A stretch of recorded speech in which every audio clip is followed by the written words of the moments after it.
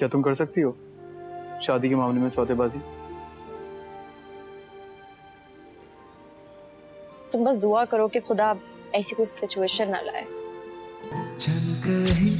है जो बात दिल की दिल में ना रहे। रफ़ी इतना समझदार है शक्ल से तो नहीं लगता।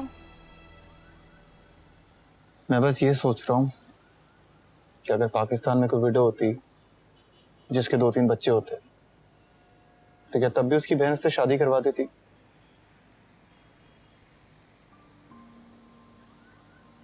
दुनिया ऐसे ही है सलमान। कभी किसी बात पे कॉम्प्रोमाइज करना पड़ता है और कभी किसी बात पे सौदा। शादी के मामले में भी सौदेबाजी। ज़्यादातर ऐसे ही होता है। और कभी कभी ये सौदा बुरा भी नहीं होता वैसे। तुम कर सकती हो सौदेबाजी। इस वक्त मुझे लग रहा है जैसे मैं किसी भी बात समझौता कर सकती हूँ। डरा रही हो मुझे?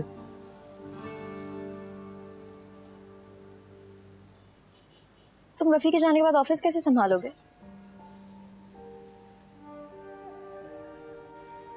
पता नहीं। यही सोच रहा हूँ। सुनो तुम अली को क्यों नहीं हायर कर लेते? अली पढ़ाई के साथ साथ काम कैसे करेगा? कर लेगा यार। एक तो उसे अपनी सौतेली माँ से दूर रहने का मौका भी मिल जाएगा और कुछ अर्निंग भी हो जाएगी बेचारे की। ओके तुमने मेरे सवाल का जवाब नहीं दिया। कौन सा सवाल? क्या तुम कर सकती हो? शादी के मामले में सौदेबाजी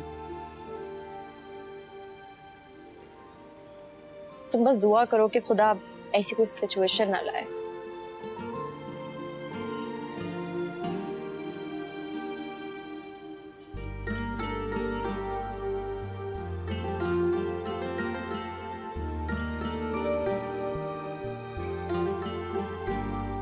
क्या फेंका?